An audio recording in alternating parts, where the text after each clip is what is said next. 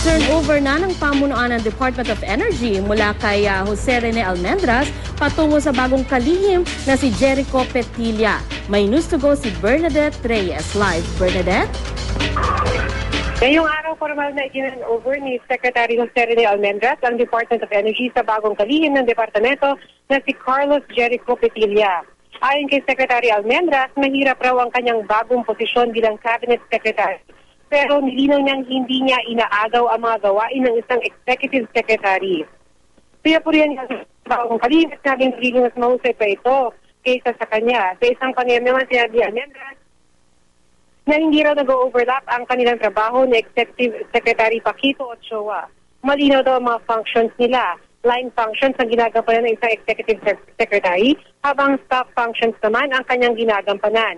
Meron raw executive order na nagsasabi kung ano ang kanyang mga gawain bilang Cabinet Secretary.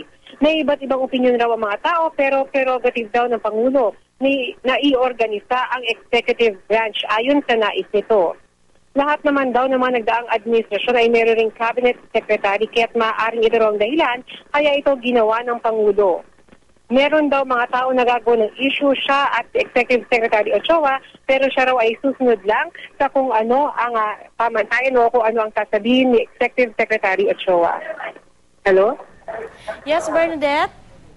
Si Hello? Mr. Pe- Bernadette, si Yes? Mr. Petilla naman, anong sinasabi niya na programa niya para sa? DOE?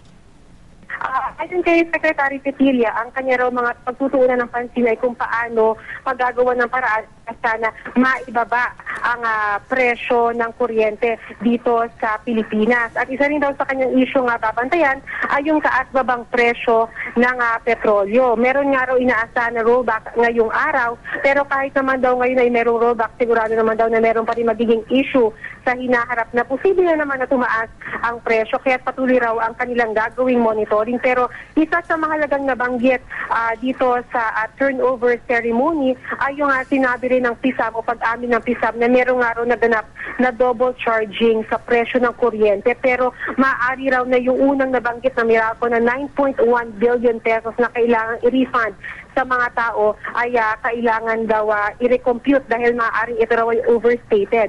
Ayon naman kay Secretary Petilla, isa raw ito sa kanilang ah, tututukan ng pansin para ah, maibalik sa tao kung ano man yung kailangang i-refund sa kanila.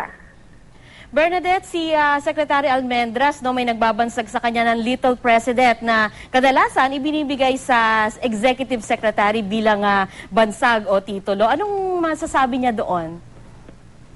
Ah, sabi naman ni uh, Secretary Almendras kanina sa panayam ay ah, wala naman daw siyang issue pero sinasabi niya na magkaiba naman daw talaga yung kanilang functions ni Executive Secretary Paquito Ochoa. Yung sa kanya raw talaga ay bilang isang staff function, siya ay nag-oorganisa ng kung ano man yung mga schedules din ng Pangulo pero yung kay Executive Secretary naman, ah, Paquito Ochoa ay isang ah, ah, line function kaya wala raw silang pag-aagawa ng pwesto. In fact, sila nga raw ni Executive Secretary ah, Paquito Ochoa ay magkaibigan kaya wala raw animosity sa kanilang dalawa. Yeah, Bernadette, si uh, Howie Severino to, no? Anong nalalaman natin na tungkol sa background ni uh, Secretary Almendras at kung bakit siya yung napili ni uh, President uh, Aquino? Um, ang, ang pagkaalam ko kasi parang college pa lang uh, magkakilala na yung dalawa. Talagang uh, uh, matalik na magkaibigan yung dalawa.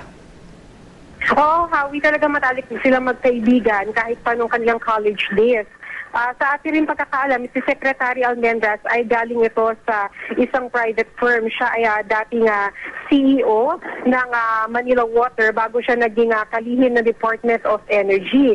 Ayon sa kanya, hindi naman daw niya maaaring depensahan yung kanyang posisyon bilang isang cabinet secretary ngayon kung hindi siya ay ah, sumusunod lamang sa kung ano yung ah, pinag-uutos sa kanya ng Pangulo. Howie?